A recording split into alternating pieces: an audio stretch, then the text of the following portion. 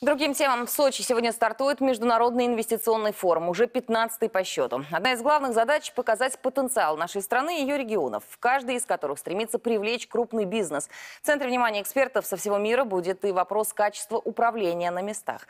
Из Сочи репортаж Алены Евтяковой. Инвестиционный сочинский форум в цифрах – это 24 страны-участницы и более 700 руководителей российских и зарубежных компаний. Главная цель уже ставшего традиционным экономического форума – найти инвесторов, заинтересовать своими предложениями не только отечественных предпринимателей, но и представителей зарубежного бизнеса, которые, несмотря на непростую экономическую ситуацию, видят в России важного и выгодного партнера. Для меня это первый раз, что я здесь. В этом году мы были тоже в Питерский форум.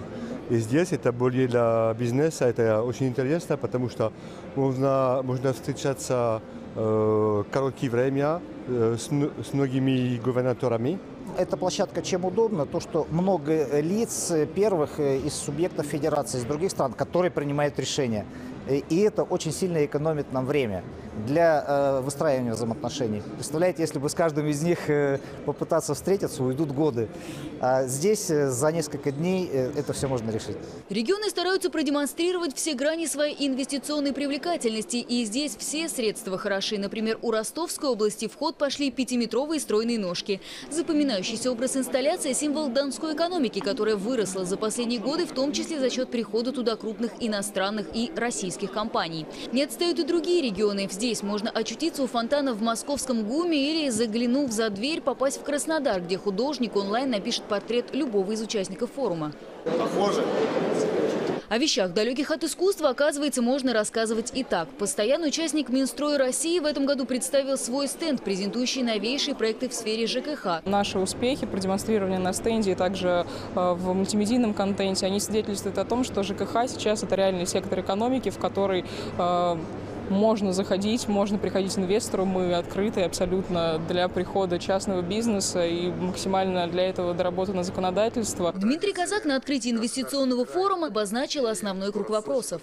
Деловая программа Сочи обещает быть интересной и насыщенной. Мы будем обсуждать новые методы государственного и муниципального управления. Спасибо за ту работу, которую вы делаете, за ту энергию, которую вы проявляете. Помимо основной программы для участников насыщенная культурная и спортивная. Так, накануне на льду Олимпийской арены шайбы сошли сборные ночной хоккейной лиги и Международного инвестиционного форума. Борьба получилась нешуточной. Без занятий спортом невозможно эффективно работать. Поэтому э, надо заниматься спортом, тогда и настроение улучшается, и дело спорится. Деловая программа форума стартует сегодня. Формат панельные сессии и круглые столы, где эксперты обсудят стратегии развития регионов, IT-отрасли и курортно-туристической сферы.